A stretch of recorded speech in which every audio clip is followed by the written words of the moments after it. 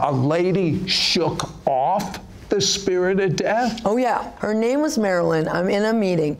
She said, I am dying. And I looked at her and she was right. Then she began to explain how she had radon poisoning and also mold poisoning and how the doctors had treated her, but she could never recover. So I grabbed her and I shook her violently while commanding the spirit of death to come out. The next day I'm up on stage, I get back down and a beautiful, polished looking woman, perfectly coiffed hair, makeup, walks up to me and says, Hi. And I go, Marilyn?